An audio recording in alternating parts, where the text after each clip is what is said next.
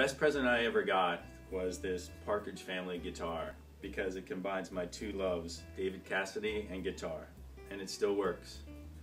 Hello world, that's a song that we're singing.